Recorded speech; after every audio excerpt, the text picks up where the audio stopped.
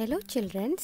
Today we're going to read E N F alphabet words. Let's read with me.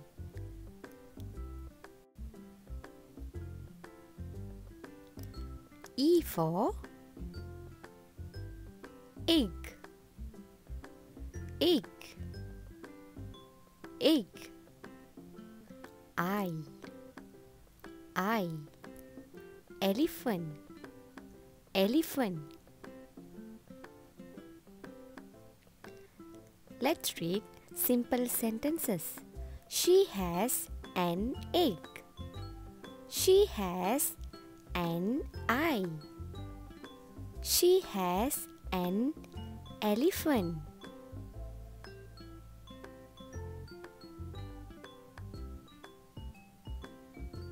Next, we are going to read F alphabet words. F for fan, fan. Fish, fish. Frog, frog.